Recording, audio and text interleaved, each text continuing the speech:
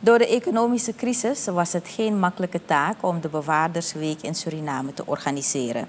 Dit zei Patrick Campagne, waarnemend directeur operationele diensten op het ministerie van Justitie en Politie tijdens de opening van de week gisteren campagne stelt dat het dit jaar de beurt is aan Suriname om zich te bewijzen tijdens de week waarbij gevangenispersoneel van de Nederlands sprekende landen in het Caribisch gebied bij elkaar gebracht worden om de saamhorigheid tussen deze ambtenaren te vergroten.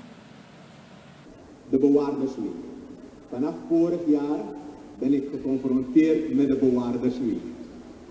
Toen we te horen kregen dat een aantal personen zouden afreizen en bij terugkeer zei het waar niemand hoeft doen. Maar volgend jaar organiseert Suriname.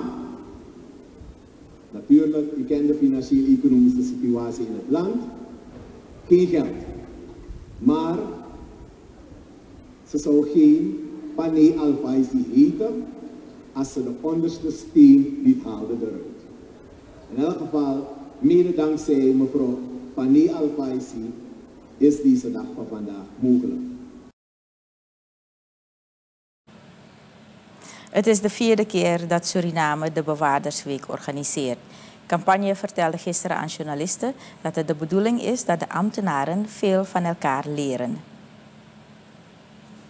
Het is gewoon om die saamhorigheid tussen de verschillende korpsen, uh, het gevangenispersoneel, nader tot elkaar te brengen. Zoals u hebt gehoord, ehm, de landen die participeren zijn Aruba, Bonaire, Curaçao en Sint Maarten en natuurlijk Suriname.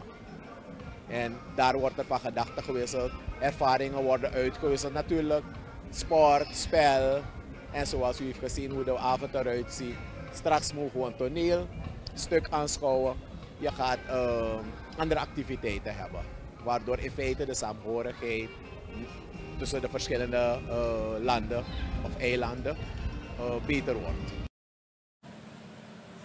Curaçao, Sint Maarten, Aruba, Suriname en Bonaire organiseren jaarlijks de Bewaardersweek, die in het teken staat van kennisuitwisseling, verbroedering en ontspanning. De week wordt traditioneel gestart met een kerkdienst, waarbij de medewerkers een ceremonieel uniform dragen. De Bewaardersweek wordt zondag 15 oktober afgesloten.